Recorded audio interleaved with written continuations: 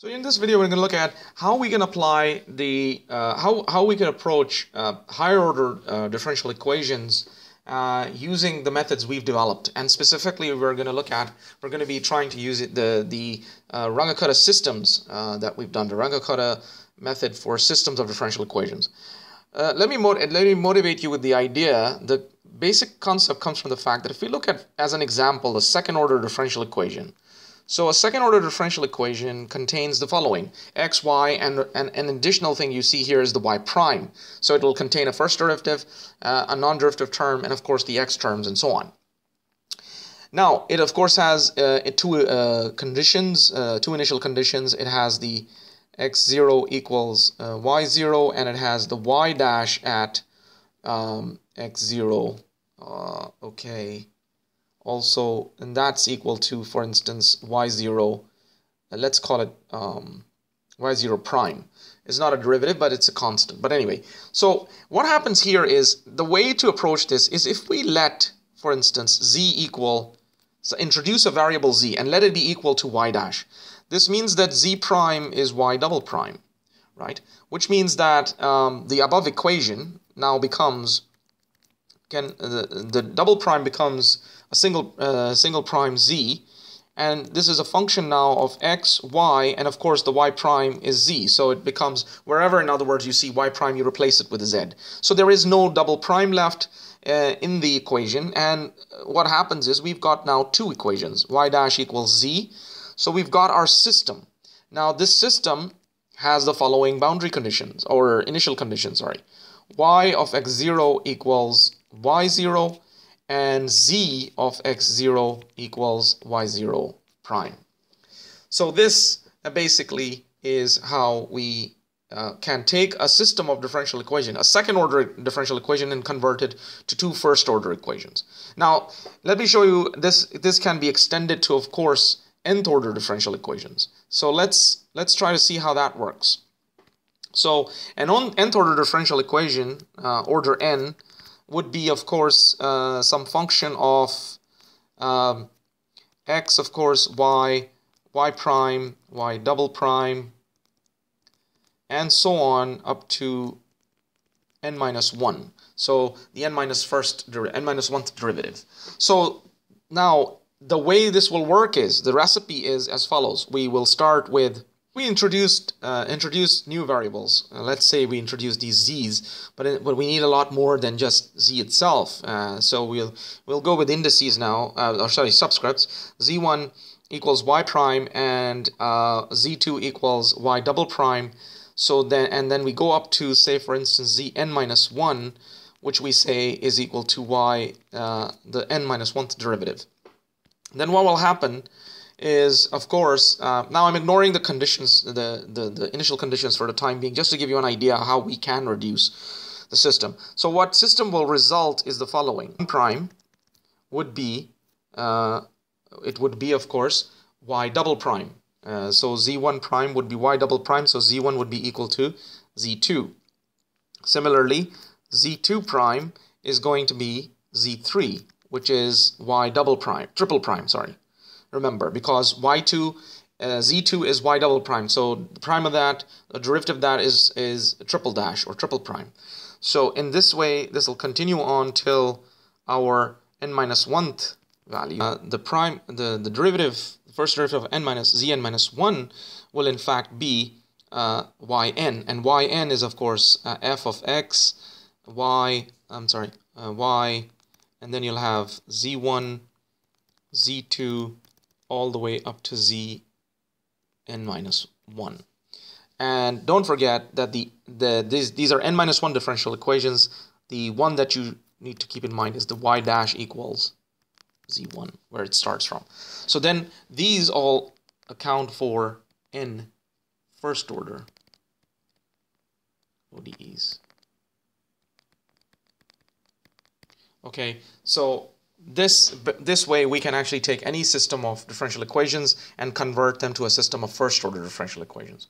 Once they're converted to a system of first order differential equations, the Runge-Kutta second, fourth, third, fourth, fifth, any Runge-Kutta method can be then applied. So let me go through a second order differential equation and so show you how the fourth order Runge-Kutta can be applied to that. So let's do that next. So let's look at this example. I've got a second order differential equation here, the typical general second order differential equation. So the method, as we've just outlined, uh, would require us to first start by letting uh, some uh, by letting some variable z, for instance, equals uh, equal y dash, which would mean that z prime would then equal y double prime, which is equal to f x y, and of course the the y prime is now z. So uh, wherever you see y y dash or y prime, you should replace it with z. So now we've got a set of two equations, y dash equals z, and z prime, or z dash, equals f of x, y, z. Now, that's, that's our set of uh, equations. Now, the boundary, or the initial conditions, of course, y of x0 equals y0, and z of x0 equals z0. So that basically is our uh, system of two first order differential equations. Second order differential equations becomes a system of two first order differential equations. In a similar way, third will become a system of three, fourth a system of four, and so on. N, nth order, as we saw earlier, a system of n uh, first order equations. Now, let's apply the Runge-Kutta uh, to this. So first of all, you're going to have the equation for yn plus 1 because you've got two first order differential equations. So you're going to have yn plus 1 equals yn plus, uh, sorry, uh, we're doing, remember we're doing fourth order Runge-Kutta in this example. So, so that'll be 1 sixth um, and k1 plus k2 plus, uh, that's 2k2 plus 2k3 plus k4. And similarly for the z, there'll be z plus 1, zn plus 1, sorry, equals zn plus 1 sixth. And this time I'm going to use the letter L. So we're going to have L1 plus 2L2 plus 2L3 plus L4. Okay, so um, remember that if you want to relate back to the vector idea, so what we're saying is our y dash is in fact um, y dash and z dash, okay? and our y is in fact um, y and z okay? So uh, when we say or say we say, if we want to say yn here like this that means yn and zn and so on okay? And k for instance the k1s okay? The k1 vector is going to be of course uh, k1 and l1 Okay, the k2 vector, as you saw, is going to be k2 and L2.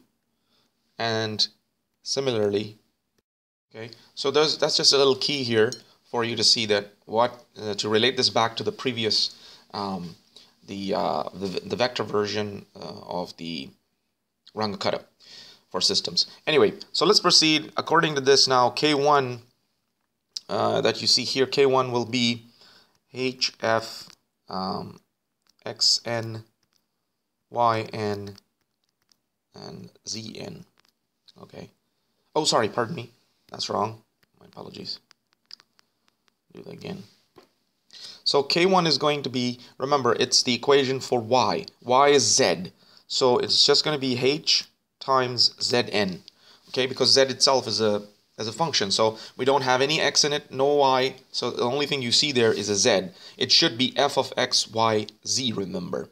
Okay, so it's just going to be h. So remember here in our formula, uh, in, in the formula we had, that's the one we saw earlier, you would have seen the following. You would have seen that y dash, if we compare it, is supposed to be equal to y, f, x, y, z, function of uh, all the variables, uh, the independent and, the, and all the dependents. So in this case, the function itself is defined as z. It's z. So there is no x and there is no y. So you'll just say zn here. Okay. Um, then, of course, in, a sim in the similarly, we'll have the L1. And L1 is, of course, this fxyz. So it's going to be h, f, xn, yn, zn, right? Um, let's move further. So K2 similarly is h into zn plus, um, and zn we add L1 to it here, remember, L1 over 2 in fact, okay?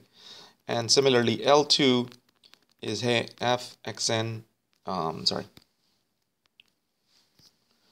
xn plus h, yn plus, sorry, h over 2, yn plus kl1, uh, k1, sorry, over 2, and, okay, so let's just make some space here, and, right, so k3 then is going to be h times zn plus, uh, the next is l2 over 2, remember, okay, and l3 is hf xn plus h over 2 yn plus k2 over 2 oh yeah.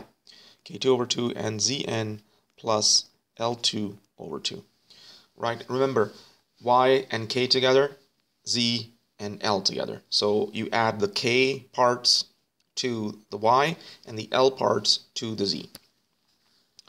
Last one is k4 is equal to h into zn plus L3 and L4 is HF xn plus h yn plus k3 zn plus L3 okay. So that basically is the the Runge-Kutta fourth order for this uh, particular second order differential equation